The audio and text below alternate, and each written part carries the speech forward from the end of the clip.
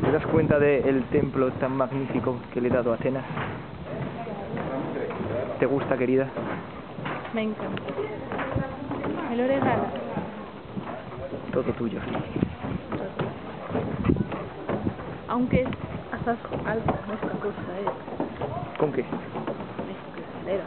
Ah, esto, sí, es que últimamente los arquitectos tienen un nuevo sistema para poner los tejados. Pero lo solucionaremos pronto.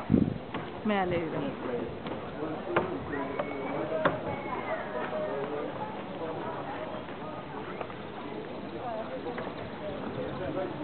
Le he dado a Atenas mi único hijo, que es inmortal. Hola, Hola, saluda.